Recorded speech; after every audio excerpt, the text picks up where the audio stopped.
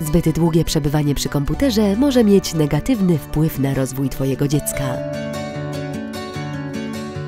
Pomóż swojemu dziecku. Włącz ICT.